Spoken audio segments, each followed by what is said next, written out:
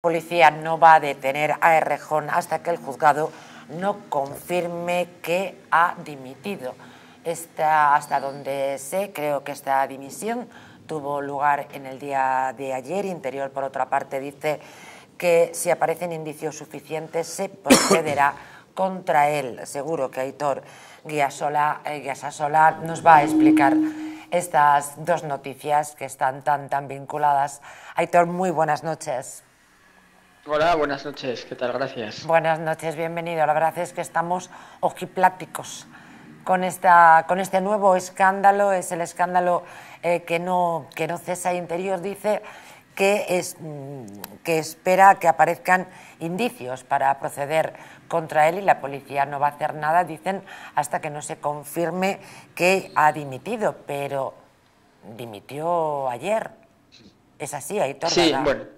Sí, Guisasola, sí, Guisasola. A ver, el, asunto es que el artículo 71 de la Constitución establece la, algo que, bueno, es en mi opinión eh, de dudosa eh, de dudoso gusto porque establece la inmunidad de los diputados y senadores. Esto significa que tienen determinadas prerrogativas, entre ellas el aforamiento ante el Tribunal Supremo, lo que significa que un juzgado ordinario no puede juzgarles ni puede decretar ningún tipo de medida cautelar frente a ellos. Entonces el, el asunto está en que de momento, hasta lo que se sabe, eh, Errejón es diputado en el Congreso y por tanto un juzgado ordinario no podría eh, ordenar su detención porque no le puede juzgar. Tendría que solicitarlo el Tribunal Supremo. Es lo que ocurrió el otro día también con Ábalos, que la Audiencia Nacional solicitó al Congreso que informara sobre si este señor era diputado antes de enviar eh, la causa al Tribunal Supremo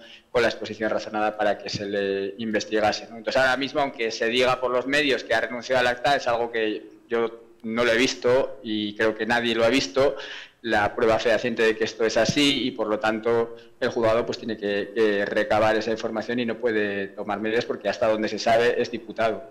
Claro, Aitor, eh, desde tu amplia mm, experiencia, ¿ante qué situación consideras que está Íñigo Errejón en estos momentos?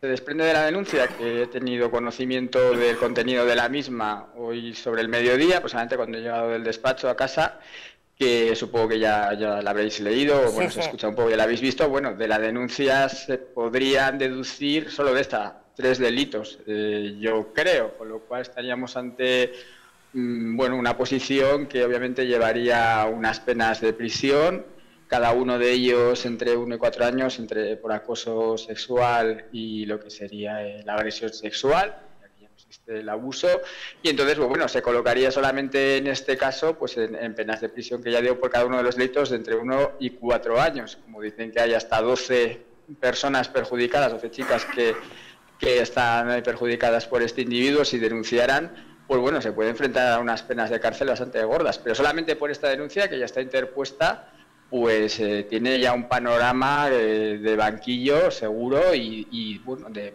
ir a prisión, pues habrá que verlo. ¿no? Aitor, no solamente, efectivamente, como bien señalabas, no existe esta denuncia de la cual pues, hemos dado, lógicamente, cumplida cuenta, sino que hay más denuncias. La gran mayoría, al parecer, eran, em, eran denuncias anónimas, pero que el partido conocía por el abundante número de, de este tipo de denuncias en redes sociales, no, sé qué veracidad eh, le das tú a esto.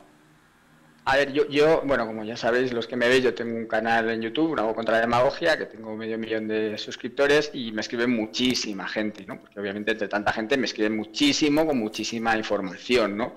Yo desde hace un año esta parte, información sobre este tipo de cuestiones de Rejón había recibido bastante, yo lo tengo que decir. Otra cosa, porque, o sea, yo lo sabía. si lo sé yo, bueno, no, no, sabía con pelos y señales, vamos a explicar. O sea, no es que supiera con pelos y señales, pero que me llegan cosas. Yo, hombre, yo no puedo dar veracidad a cosas que me llegan y me dicen, no, esto de Rejón no llega o tal o cual.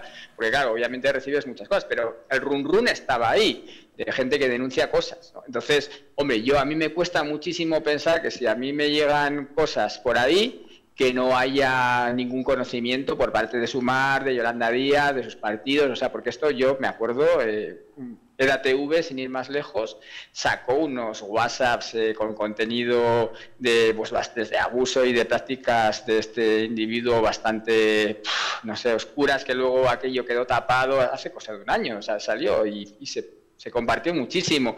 Luego se tapó y ya aquello ya a mí por lo menos me daba la impresión de que tenía muy mala pinta. ¿no? O sea, todo esto yo creo que era un secreto a voces que, bueno, que no sé, que por lo que sea no ha interesado sacarlo hasta ahora y lo han tenido ahí tapándolo y ahora ha interesado, en mi opinión, pues porque ahora está la mierda hasta el cuello el gobierno y ahora, pues bueno, ahora solo se habla Un poquito más, ¿no? En estar hablando en lugar de estar hablando, se tenía que estar hablando de cómo anteayer, justo cuando ha sacado Cristina Fallaras esta información, salió el auto del, bueno, el auto del Tribunal Superior de Justicia de Madrid, eh, desestimando la querella de Begoña Gómez contra el juez Peinado y dejándola a nivel del barro, igual que hizo con la de Pedro Sánchez, ¿no? Y que esto es, vamos, esto, esto tendría que estar hablándose en todos los lugares, en todas las televisiones, del ridículo espantoso y del descrédito absoluto del gobierno de Pedro Sánchez, de Begoña Gómez, etcétera, de cómo él se dejó el Tribunal Superior de Justicia de Madrid. ¿Cómo puedes, ¿Cómo puedes imaginar Aitor en este, en este programa, en el Mundo al Rojo y en esta casa, Distrito Televisión, se habló de ese extremo y mucho, como puedes imaginar.